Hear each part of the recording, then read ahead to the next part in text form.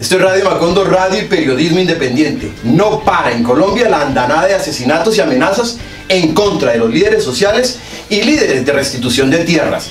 Recientemente, a través de un correo electrónico enviado a organizaciones sociales de derechos humanos y dirigentes de Marcha Patriótica, paramilitares de las autodenominadas Águilas Negras, una bellezura, eso sí, amenazaron de muerte a periodistas, defensores de derechos humanos y líderes sociales en los departamentos del Valle del Cauca y el Cauca.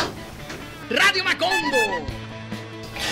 Esta situación se repite a lo largo y ancho del país sin que el Estado logre controlar estos grupos neoparamilitares que vienen haciendo de las suyas, asesinando, extorsionando, haciendo lo que saben hacer, llevando la violencia a las comunidades campesinas e indígenas, que se sienten acorraladas en sus propios territorios.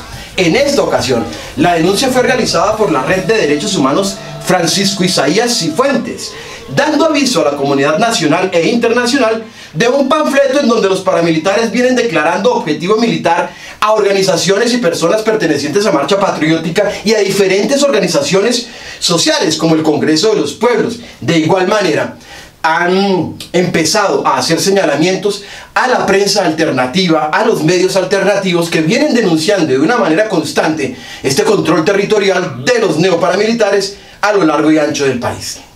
Radio Macondo. Este panfleto, que ha aparecido en diferentes departamentos, ha aparecido en Córdoba, en Putumayo, en el Chocó, pues ya es una vaina recurrente en Colombia. Las comunidades se sienten acorraladas, desprotegidas, amenazadas, sin que se logre conjurar este tipo de violencia contra ellas.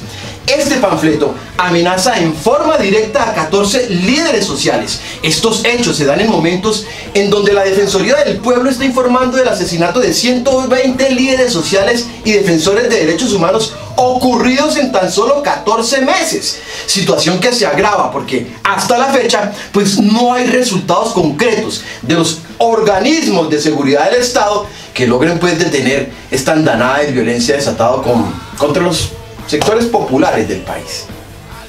Radio Macondo. Finalmente, para no cambiar de tema, pero sí de región, tenemos que contarles que el Consejo Comunitario Mayor de la Asociación Campesina Integral del Atrato, Cocomacia, comunica a la opinión pública pues algo que les está ocurriendo. ¿Qué?